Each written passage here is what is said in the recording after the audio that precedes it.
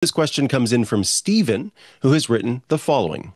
Back when I worked in IT full time about 10 years ago, it was common to see in the signature of emails people reminding each other to think of the environment before printing this email.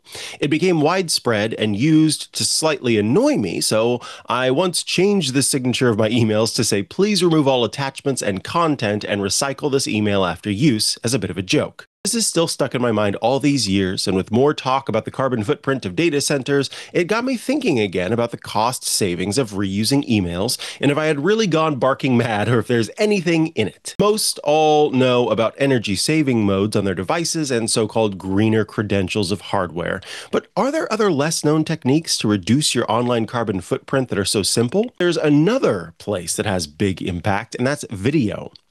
One hour of HD streaming is about 36 grams of CO2 emissions. And it turns out what we're doing right now has quite the impact as well.